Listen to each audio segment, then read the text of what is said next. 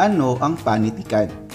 Ang tunay na kahulugan daw ng panitikan ay yaong pagpapahayag ng damdamin, panaginip at karanasan ng sangkatauhang nasusulat sa magandang kahulugan at masining na pahayag. Si Brother Azarias ay nagsabing ang panitikan ay pagpapahayag ng damdamin ng tao sa lipunan, sa pamahalaan, sa kapaligiran, sa kapwa at sa dakilang lumikha. Ayon naman kay Webster sa kanyang pinakabuod na pakahulugan, anumang bagay raw na naisa sa titik basta may kaugnayan sa pag-iisip at damdamin ng tao, maging ito'y totoo, kathang isip o bungang tulog lamang ay maaaring tawaging panitikan. Ang panitikan at kasaysayan Matalik na magkaugnay ang panitikan at kasaysayan sa pagtalakay ng kasaysayan ng isang lahi, tiyak na kasama rito ang damdamin, saloobin, kaugalian o tradisyon ng lahing ito. At ang lahat ng ito kapag naisatitik ay tinatawag na na panitikan. Ang panitikan at kasaysayan ay mayroong ding pagkakaiba. Ang panitikan ay may-aring likhang isip o bungang isip lamang o mga pangyayaring hubad sa katotohanan na naisatala.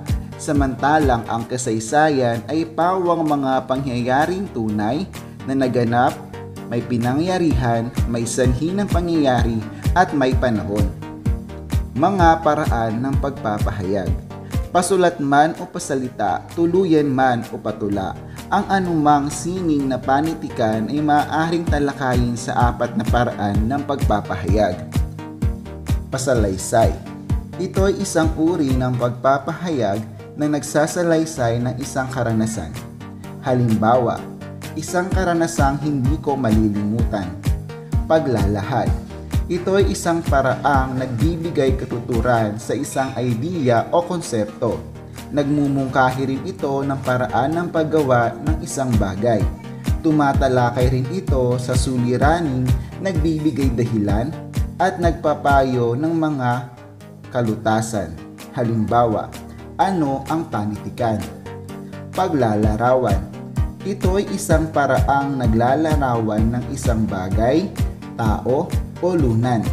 Ang mga detalye ng mga katangian o kapintasan ng tao o bagay na namamalas ay nababanggit dito. Halimbawa, Maynila, kulay anyo ng lahi.